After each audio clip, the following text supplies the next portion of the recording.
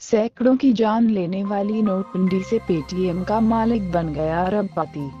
नई दिल्ली, पिछले साल 8 नवंबर की रात पीएम मोदी ने कालाधन और भ्रष्टाचार की बात कर 500 और 1000 रुपए के नोट बंद करने की घोषणा कर दी थी, जिसके बाद देश में आर्थिक भूचाल आ गया था। पैसे की किल्लत की वजह से देश से सैकड़ों गरीबों की जान चली गई थी। लेकिन नोटबंदी का सबसे बड़ा फ़ायदा पेटीएम को हुआ है।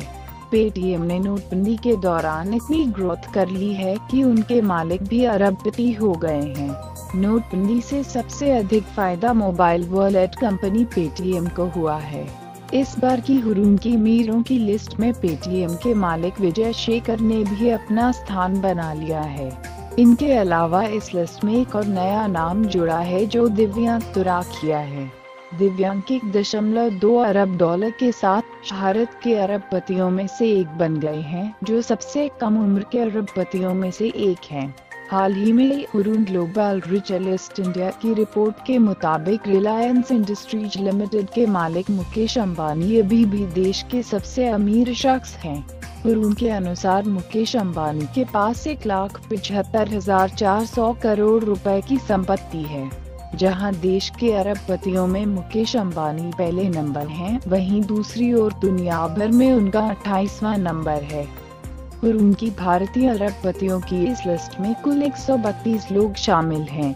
इस लिस्ट में दूसरे नंबर पर एक लाख एक हज़ार करोड़ रुपए की संपत्ति के साथ एसपी हिंदू जॉइंट फैमिली है जबकि निन्यानवे हज़ार करोड़ रुपए की संपत्ति के साथ दिलीप शांघवी इस लिस्ट में तीसरे नंबर पर हैं। वहीं पलजी मिस्त्री चौथे नंबर पर हैं, जिनकी कुल संपत्ति बयासी हज़ार सात सौ करोड़ रुपए है। इस लिस्ट में पांचवा स्थान इक्यासी हज़ार दो सौ करोड़ रुपए की संपत्ति के साथ दुनिया के सबसे बड़ी स्टील निर्माता लक्ष्मी इन मित्तल का है। एक रिपोर्ट के अनुसार नोटबंदी की वजह से भारत ने इस बार 11 अरबपति खो दिए हैं। नोटबंदी से काफ़ी लोगों को नुकसान भी हुए हैं, जिसकी वजह से भी अमीरों की लिस्ट पहले से छोटी हुई है।